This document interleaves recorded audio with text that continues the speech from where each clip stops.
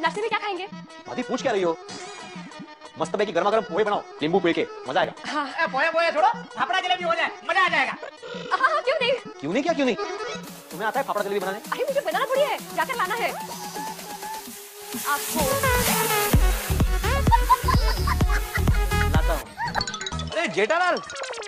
हम्म, जलेबी और फाफड़ा तुम्हारे साले साहब ने मंगाया है। पैसा चाहिए कितना हुआ बोल।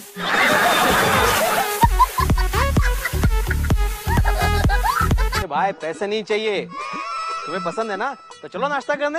नहीं नहीं खाना नहीं खाना। जेठालाल तुमको समझना मुश्किल ही नहीं नामुमकिन है। तो मत समझो भाई डॉक्टर ने बोला समझने के लिए। हाँ बोलते नहीं अच्छा सी